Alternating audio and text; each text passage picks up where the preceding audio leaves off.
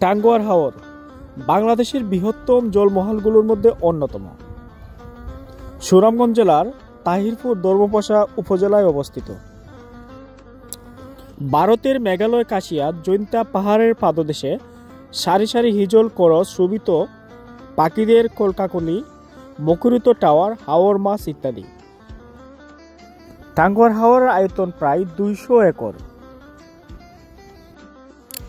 বর্তমানে টাঙ্গুয়ার হাওরের সৌন্দর্য উপভোগ করতে বাংলাদেশের বিভিন্ন প্রান্তর থেকে পর্যটক ছুটে যায় টাঙ্গুয়ার হাওরের সৌন্দর্য উপভোগ করতে।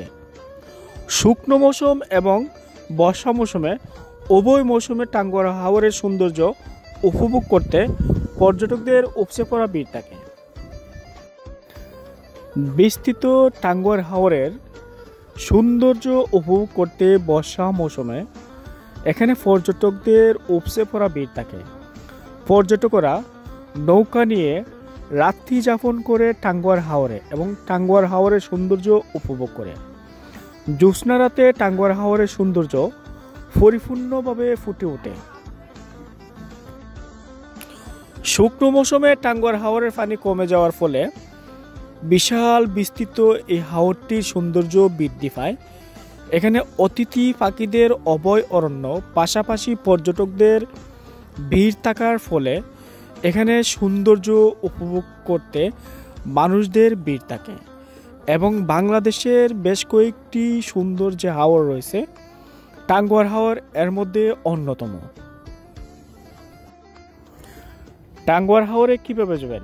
বাংলাদেশের যে কোনো জায়গা থেকে সিলেট শহরে আসতে হবে। সিলেট থেকে সুনামগঞ্জ সুনামগঞ্জ থেকে তাহিরপুর তাহিরপুর থেকে টাঙ্গুয়ার হাওরে নৌকা যুগে টাঙ্গুয়ার হাওরের সৌন্দর্য উপভোগ করতে পারবেন। টাঙ্গুয়ার হাওরের সৌন্দর্য উপভোগ করার পর রাত্রি যাপনের জন্য তাহিরপুর নৌঘাটের যে বাজারটি রয়েছে, সেখানে অনেক আবাসিক হোটেল আছে। সেখানে থাকতে পারবেন। অথবা টাঙ্গুয়ার হাওর দেখার পর আশেপাশে আরও বেশ কয়েকটি পর্যটন স্পট রয়েছে, সেটি ঘুরে দেখতে পারবেন। সুনামগঞ্জ জেলায় বেশ কয়েকটি পর্যটন স্পট রয়েছে। পাশাপাশি পর্যটন স্পট থাকায় এই পর্যটন স্পটগুলো একদিনে ঘুরে দেখা যায়। নীলাদ্রি লেক টেকেরঘাট ইত্যাদি পর্যটন স্পট একদিনে ঘুরে দেখতে পারবেন এবং পাশাপাশি সুনামগঞ্জের আরও বেশ কয়েকটি পর্যটন স্পট রয়েছে, সেগুলো ঘুরতে পারবেন। যারা ভিডিওটি দেখতেছেন, অবশ্যই ভিডিওটি দেখার পর শেয়ার করবেন, আমার চ্যানেলটি সাবস্ক্রাইব করবেন এবং নিত্য নতুন ভিডিও পেতে আমাকে উৎসাহ দিবেন।